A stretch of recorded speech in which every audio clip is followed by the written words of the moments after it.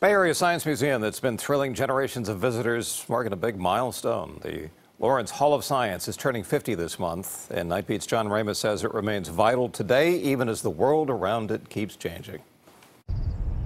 Sitting on the hillside overlooking UC Berkeley is the Lawrence Hall of Science, built to honor the memory of nuclear physicist and Cal's first Nobel laureate, Dr. Ernest Lawrence. The Science Center had a goal as lofty as its location. They wanted to do something that would change the world. Since 1968, the hall has been using science to spark the imagination of kids and kids at heart.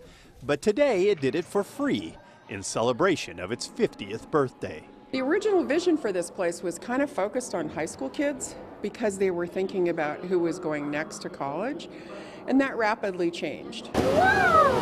Now the little kids have taken over. Emma Howes used Legos to create her version of a jungle. Her little brother Ben showed me what happens when a satellite gets hit by space junk. I want to be an astronaut. You want to be an astronaut?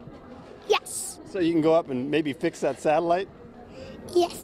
Outside, they were learning to make tiny boats powered by chemistry and rockets made with Alka-Seltzer tablets that really launched. Well, most of the time.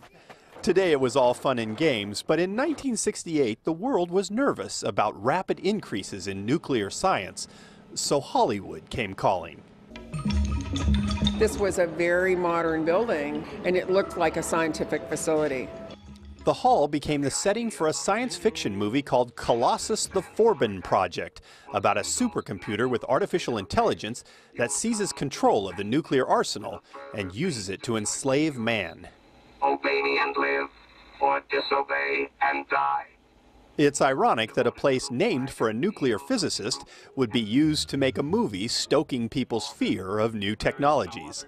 They fear what they don't know, and that's why I think it's really good if you can go and find a place where you can find out more and experience it for yourself. Lawrence Hall of Science has been doing that for 50 years. But what's really fascinating is to imagine what will be going on here when it turns 100. In Berkeley, on the Night Beat, I'm John Ramos.